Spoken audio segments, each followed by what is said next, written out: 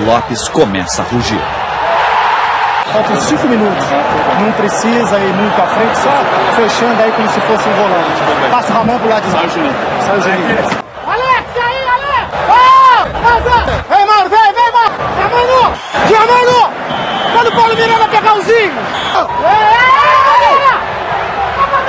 Felipe, vem, Felipe. Vamos, Guilherme, vamos com a tua, Guilherme. Faz ele. Bola volta no Felipe pro Guilherme.